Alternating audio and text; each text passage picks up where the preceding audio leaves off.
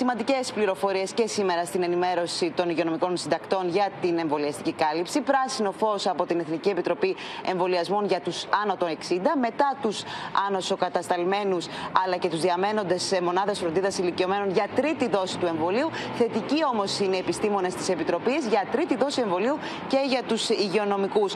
Ξεπεράσαμε τα 11.710.000 εμβολιασμών. Αυτό σημαίνει ότι το 56% του γενικού πληθυσμού είναι πλήρως εμβολιασμένο, μας έλεγαν εδώ χαρακτηριστικά.